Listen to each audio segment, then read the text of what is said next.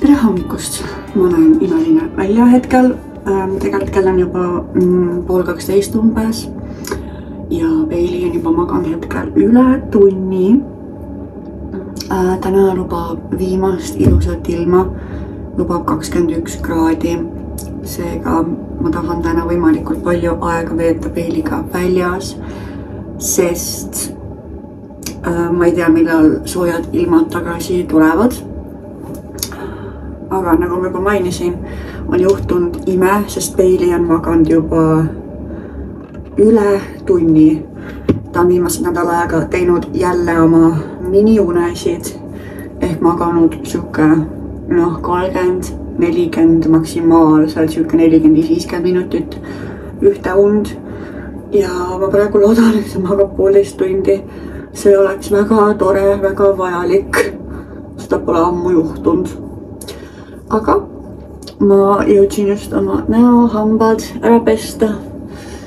ja hetkel plaan on minna sõbrannadega välja, aga vist, vist juhtus nii, et üks meist jäi haigeks, õigemini laps jäi haigeks. nii et ma ei ole kindel, mis sellest plaanist saab, võib-olla see jääb katki ja me ei saagi jõua minna aga siis ma lähen lihtsalt Peeliga, ma arvan, kahekesi jalutama.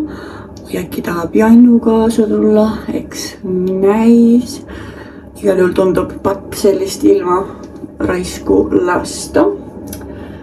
Ja meil on õhtuks ka juba plaanid tehtud, te võite arvata kellega, Riki ja Loisaga aga ma veel ei reeda seda, mis me tegema hakkame igal juhul setin ma ennast natuke rohkem valmis.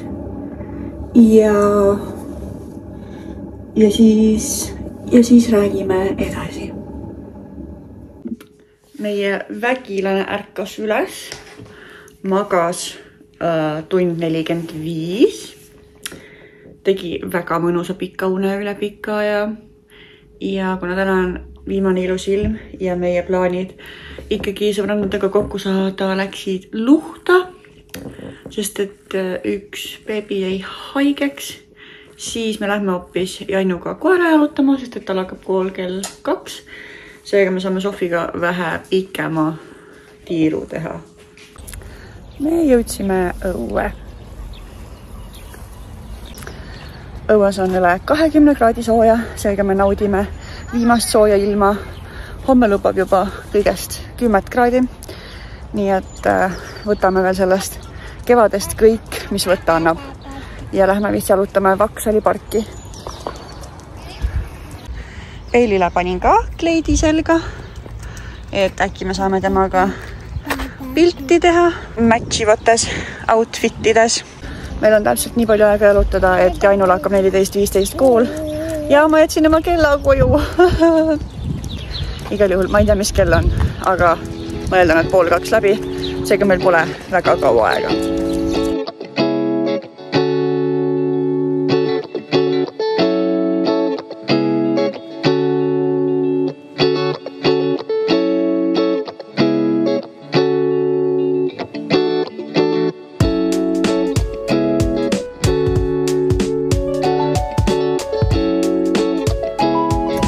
jõudsime oma tiiruga kodu lähedale tagasi ja nüüd lähme proovime mõned pildid teha.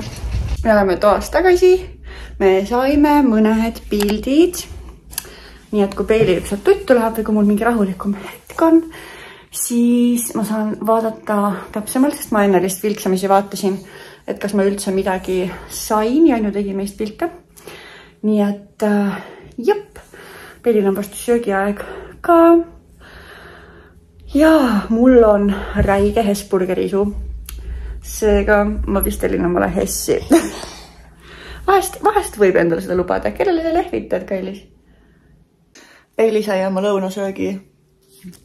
Söödud ja tunnistama, et ma tellisin omale Hessi ikkagi, sest ma otsustasin, et ma ei viitsi täna süüa teha tellisin Jainule ka, et kui ta koolist koju tuleb, siis tal on võimalus ka süüa. nii et äh, jah, ups.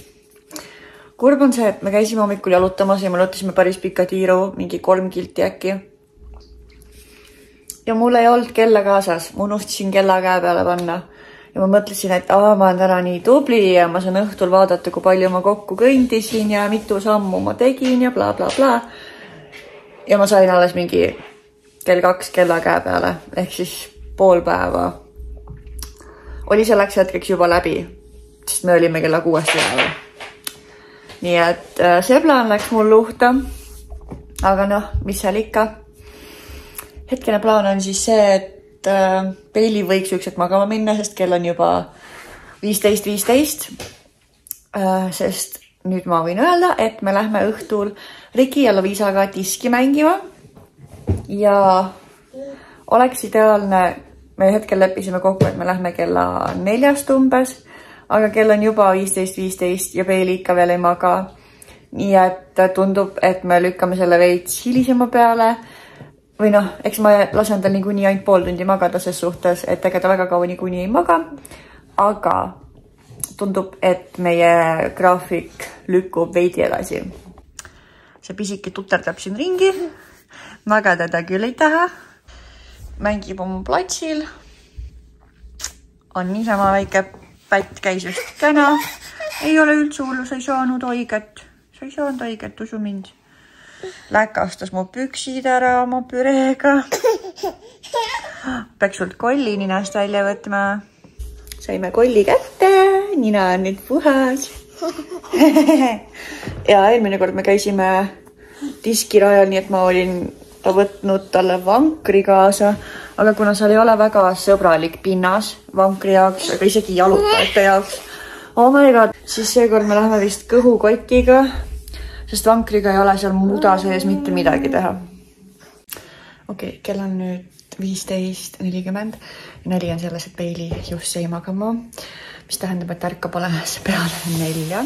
minu äh, Hesburger jõudis ja nali on ka see, et äh, Jainul lõpeb nüüd kohe paari minuti pärast tund, seega ähm, jah, ühesõnaga Peeli jäi liiga hilja magama. nii et me ei jõua kindlasti kella neljaks kohal olla.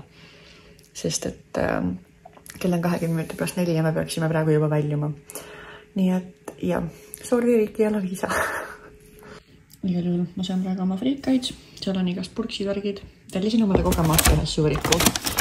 see oli eelmisest tellimusest ja ma unustasin selle maha võtta, nii et ma võtsin üks sõõrik. ja siis Netflixist The Hundred ja naudin oma pool tundi üksinda aega. Come on, Hesburger, nagu you failed me. kui ma tellin omale joogi, siis ma tahan sellega kõrt.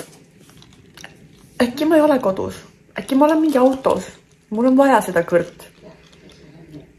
ma olen pettunud. reaalselt ma ei taha sellel joogil seda kaant pealt ära ka võtta, sest nad panid siia jääd. ma tunnen, et siin on jää ja ma ei saa seda juua normaalselt ilma kõrreta, kui seal on jää. see jää hakkab lihtsalt näkku lendama.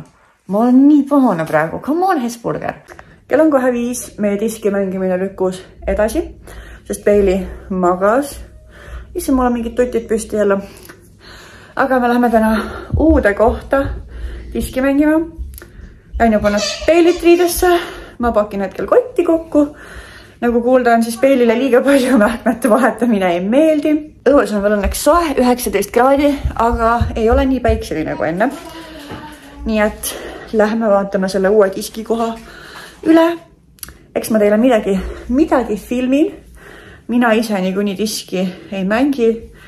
ma kannan last, hoian koera ja teen niisama samme. nii et läksime. Lähme diski mängima Lähme diski mängima. me jõudsime kohale. ma ei tea ausalt öeldes, mis selle koha nimi ongi, millisel diskirajal me oleme. kas sa mäletad, mis selle nimi on? Mingi repo. Respo. mingi res. Respo. Respo diskigolfirada. Respo diskgolfirada. Mugul ka siin ja nüüd me ootame Rikit ja Loviisat, kes peaksid iga minut jõudma. nii et jah, meil on Sofi ka kaasas, kuskil seal kaugel paistab. nii et ma vist astume kohe välja ja hakkame mulle kotti külge panema.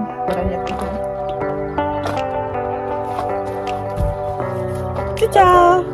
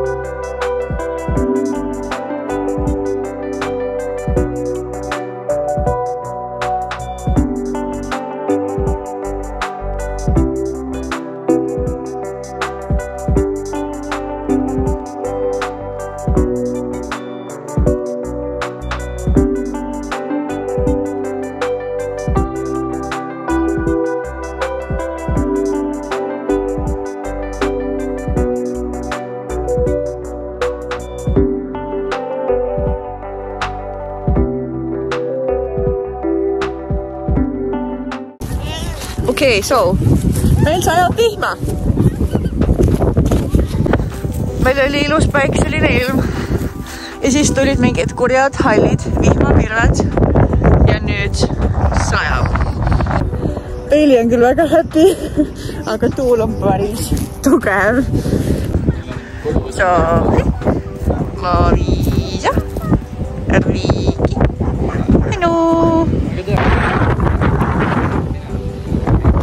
minu rets, rets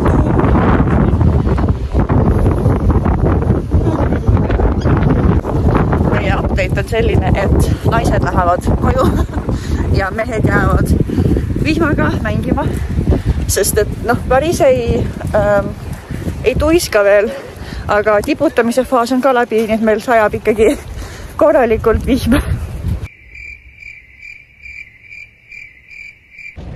jaa, nice. me nüüd jõudsime Peiliga autosse äh,. Loviisa läks Riki autosse, ootab nad vist ära seal. aga täiesti lambist hakkas lihtsalt tulema padukat. korra tundus juba, et läheb üle, aga sajab muudkui juurde. Peili sai täitsa märjaks, juuksed on täiesti märjad. ei ole hullu, esimene vihm siit on natuke näha, oi, nüüd ta fokusseeris tilgad ära, aga seal taga on vikerkaar. nii, seal taga paistab vikerkaar ka. aga ma nüüd Sofi ja Peiliga stardin siis koju. sest jah, Peiliga ma vihmaga olla ei saa, ise veel oleks jäänud küll, aga tuul ja vihm läksid nii metsikuks, et ma kardan, et ma oleks juba muidu haigeks jäänud. nii et naised lähevad koju